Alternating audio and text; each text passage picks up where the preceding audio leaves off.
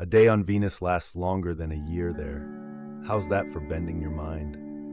Venus spins so slowly on its axis that it takes about 243 Earth days to complete just one rotation. Meanwhile, its orbit around the Sun is faster, taking only 225 Earth days to complete.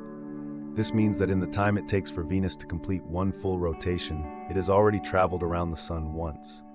Imagine standing on Venus's surface, watching the Sun rise and set. One sunrise to the next would take almost eight Earth months, turning the concept of day into a drawn-out spectacle.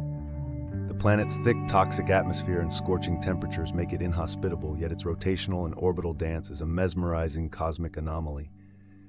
This slow spin might make you think Venus is crawling through space, but in reality, its orbit is a speedy sprint relative to its ponderous rotation. The strange interplay between its day and year offers a glimpse into the diverse mechanics of our solar system, challenging our Earth-based assumptions about time and cycles. Venus's unique rhythm is a reminder of the incredible variety in planetary behaviors, urging us to look beyond our terrestrial norms. It makes you wonder what other surprises the universe has in store, hidden within the orbits and rotations of distant worlds.